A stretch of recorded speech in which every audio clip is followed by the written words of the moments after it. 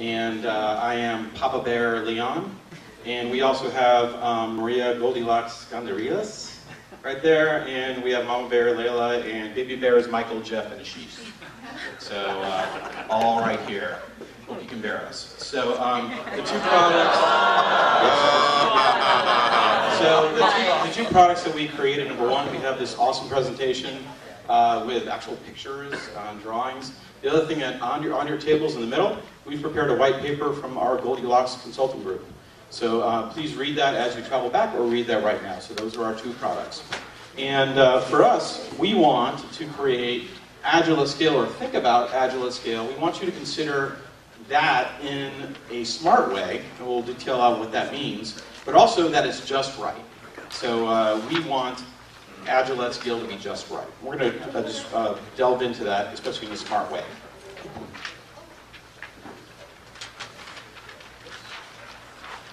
So, and for smart, for us, means um, that you consider the speed of your scaling, that you consider the maturity, that you consider alignment, especially alignment to the organization, that you consider the roles, and especially the roles that are going to be key in scaling, um, and also transformation, um, things that the organization is going to have to transform. So those are these are the considerations that we want you to consider when you're scaling. And I'll hand it off to Maria to talk about speed.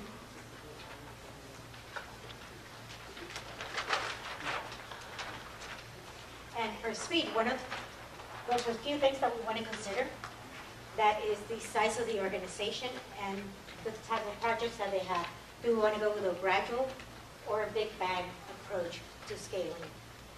If we have an organization that you have small projects that are limited cross-functional, then you probably want to go with all the teams at the same time, go full blast with it. If you have many cross-functional teams, large projects, you want to do it gradual, preferably up to a pilot, and then from this upper management method is the way to go. Also, if you have a small backlog with a small technical debt, you want to go big bang, do it all in. But if you have a large backlog with large technical debt, you want to go very gradual, very slow with this implementation. You want to consider also the, where the position of the company is. Are we a new market?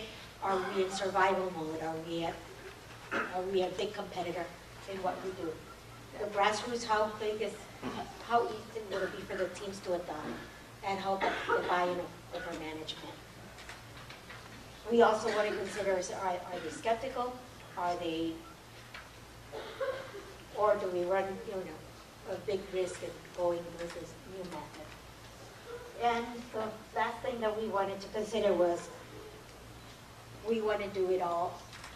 If we do it all at the same time, are we going to be uniform or is it going to be inconsistent if we do it very gradually?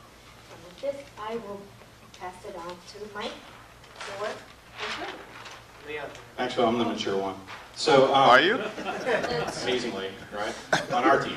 So for maturity, there are two big pieces of maturity. Number one is the agile maturity model that you want to use for consideration um, when you think about scaling. So if you're a very immature organization, like you know Howard would say, you know you're not even doing agile in the small, not necessarily a good idea to go ahead and scale right away. Think about where you are, where your maturity is. So where's your, where you're on the maturity, you want to do as much scaling as the organization can bear. So um, the other thing is you want to think about the scaling approach um, and the model, right? So don't just say, hey, we're just going to do SAFe because we like SAFe. It's got a lot of cool stuff. Think about um, your, uh, your organization, the history there, right? What do you have available? Do you have anybody that knows anything about that scaling approach? And then think about, um, you know, internal, external coaching. Um, who do you have internally? Who can you bring internally to help you with this? All right, and we're going to talk about alignment. All right, let's talk about alignment. So for alignment, there's certain areas that we need to gain some actual physical alignment. Uh, we need to gain the alignment of our stakeholders and sponsors. Now the buy-in and trust from this group is going to be critical. They need to know how they fit into the overall structure and what role they're going to play. And they're the ones that need to enable an environment of autonomy and yet, uh, you know, shared accountability. We also need to gain the alignment of our business and IT organizations. Uh, now this group really needs to come together as one unit and operate in unison.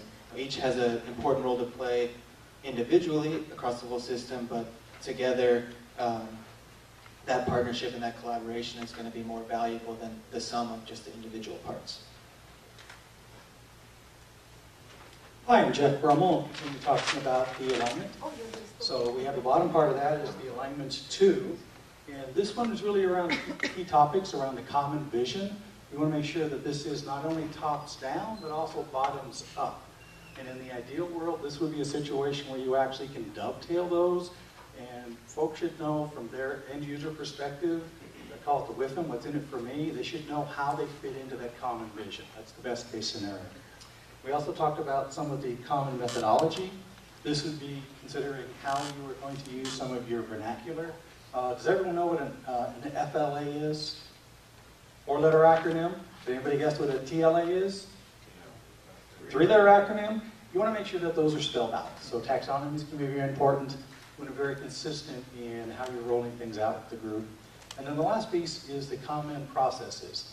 I think a lot of groups um, are very good once you get from execution down, but I think it's that intake and that ideation realization process to make sure that you're having a process for getting those good ideas in, assessing them, and then helping to build those business cases, get those estimates developed, so you can make those informed decisions with the business cases.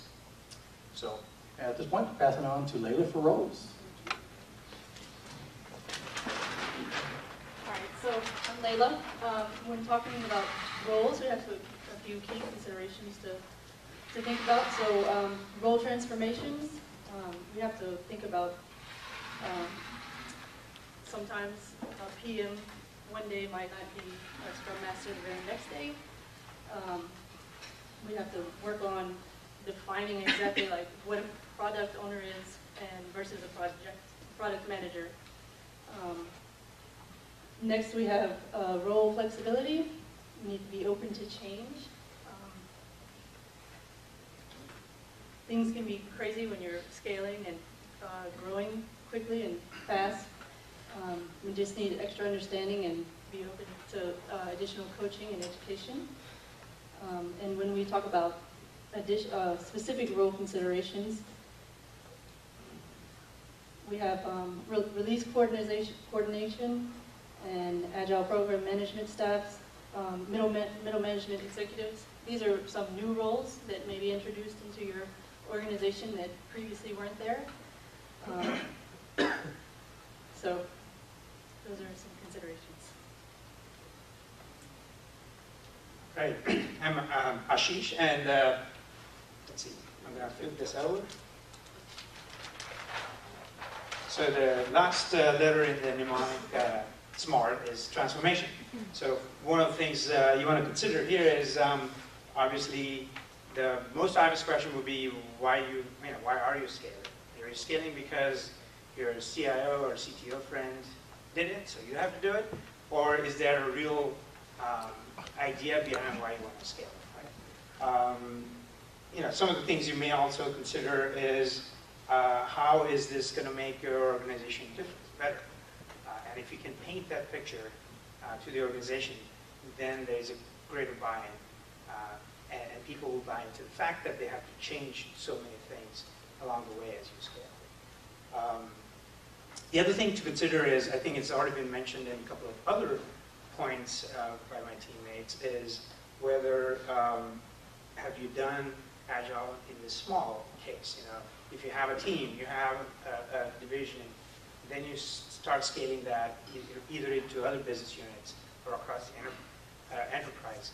If you don't have those experiences in house, the scaling part is going to be a little bit more difficult. You may have a lot of extra work to do to get there. Um, the other pattern that, that we think uh, is going to be useful is, is when you scale is kind of uh, establishing communities of practices. Uh, communities of practices. Uh, community of practices could be around roles. So when you introduce new roles, it's important for those roles to come together, uh, create some uh, new good practices, practices, share those out, and do some peer, to peer learning. And then I'm going to just lastly put a very small point on uh, organization change itself. Uh, the leaders are going to have to make a lot of fundamental change on how they do business, whether it's organization design or changing from a command and control to more people-centric. All right? So, uh, sorry, we've only uh, barely scratched the surface of scaling, but we do want you to bear in mind um, that, you know, just by following the recipe doesn't mean that you'll get good porridge. Um, So that's what we want to leave you with. Please check out our white paper or brown bear paper that's on your tables, and thank you very much.